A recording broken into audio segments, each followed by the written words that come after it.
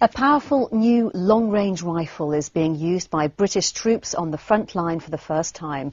Royal Marines from 40 Commando have begun using the sharpshooter rifle in the Sangin area of Helmand.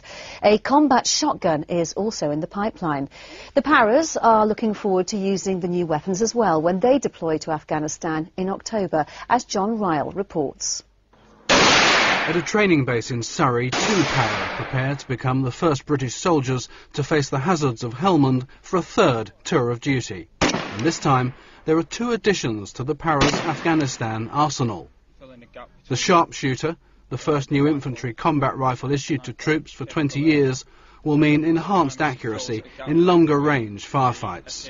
It allows you to um, I positively identify uh, human targets up to 1300 metres and vehicle recognition up to 3000 metres. Uh, so it's an awesome bit of kit. But the talk of the range is another newcomer, a combat shotgun with a range of 40 metres firing buckshot, 1300 metres firing solid shot. So, combat shotgun, this is the first use of one of these in Afghanistan. Yep. You've had it for what, three days now? Yeah, I've been training it for three days now, yeah. And how are you finding it? Uh, I think it's a really good weapon system. It'd be employed within the patrol very well. It'd be situated nearer to the front of the patrol. Um, I think when they're going through the corn, when we were out there, we didn't have this sort of weapon system, and you find it hard when the threat come out from the corn. It's hard to hit that, that person with the weapon. With the shotgun, it's easier to bring it to bear, and with the two types of round, the slug, which you can get up to 140 metres, and the shot, which you can do the shorter ranges with, I think it's a very good uh, weapon system for that. Push that over there like that. So that's off now, yeah? and that's ready to fire, so. How many hits was that? All of them. Was it? Yeah, good shooting. Right. Since the Para's last tour of duty in Afghanistan, the kit's changed too.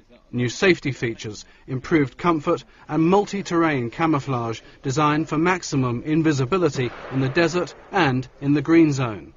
We now have the guys dressed in the multi-terrain pattern camouflage, uh, with the Osprey Assault body armour, now with the plate inside the jacket, so it's not sticking out in the pocket, and then the Mark 7 helmet, which gives much better interface with the weapon systems and also any load carriage. What else is new? Well, since the Para's last tour of duty in Helmand, the ration packs too have been food for thought. At the end of the next tour, the Paras will give military chiefs their feedback on the sharpshooter, the shotgun, and the chicken tikka masala. John Ryle, Forces News. That'll be interesting to hear.